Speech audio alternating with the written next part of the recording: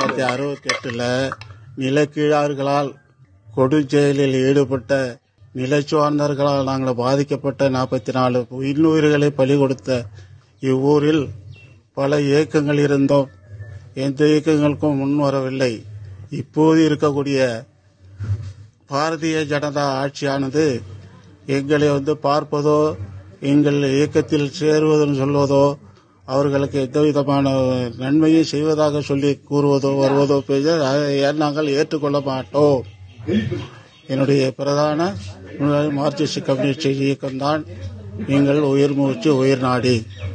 ஆகவே மாற்று இயக்கங்களுக்கோ மாற்று கொள்கைக்கோ போறதுக்கான எவ்விதமான தீய தீய சக்திகளுக்கு இங்கே இடமில்லை. எங்களுடைய நிலைப்பாடு எந்த இயக்கத்திலும் நான் மங்க மெம்பராகவோ மங்கத்தினராகவோ சேருவதற்கு எந்தவித முகாந்திரமும் கிடையாது. அவர்கள் வந்து பார்ப்பது எந்த நோக்கத்தில் வந்து பார்க்கிறார்கள் எங்களுக்கு புரியவில்லை. இவ்வளவு காலம் பிறகு அறுபது ஆண்டு காலத்துக்கு பிறகு வந்து பார்ப்பது எனக்கு இது வேடிக்கை விந்தையாக உள்ளது. ஆகவே அவர்கள் வந்தால் வந்து பார்த்துவிட்டு அவர்கள் போகலாம். நாங்கள் அவர்களுக்கு உடந்தையாகவோ சாதகமாகவோ இருக்க போவதா அல்ல யார் வந்தால் என்ன எங்களை இதுவரையிலும் பார்க்காத பார்க்காத நேரத்தில் இப்போது அவசர அவசரமாக பார்க்கக்கூடிய எங்கள் நிர்பந்தமோ கட்டாயமோ எதுவும் கிடையாது. நான் யாரிடமும் அரசாங்கத்தால் எந்த விதமான ஒரு உதவியும் இதுவரை அடைந்தது கிடையாது. இனிமேல தனிப்பட்ட நிர்வாகமோ யாரோ வந்து எனக்கு நல்லது கெட்டது செய்யணுங்கிற அவசியம் ஏற்படாது. ஆளுநர் வந்து இப்ப பாக்குறது வந்து அவங்க இயக்கத்தை சார்பாக அவங்க வர்றாங்க. இருக்கக்கூடிய இங்க ப- படு பாதாளத்தில் பள்ளத்தில் இருக்கக்கூடிய பாப்பர மக்களையோ மற்றவங்களையோ பாதுகாக்கிறது மாதிரி எங்களுக்கு எதுவும் தெரியல. அதனால அவரை பார்க்கறதுக்கு நம்ம வெறுப்பு இருக்கிறேன்னு சொல்லப்படல. வேணா அவங்க வர்றாங்க பார்த்துட்டு போகட்டும்.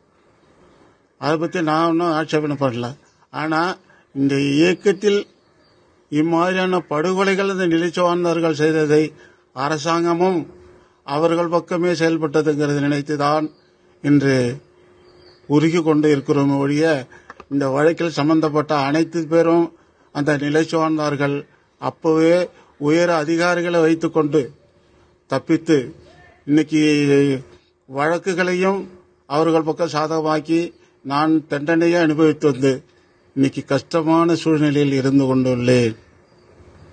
அவங்கள வந்து இப்போ வந்து ஆளுநர் ஒரு அரசியலுக்காக வருகிறார்களா?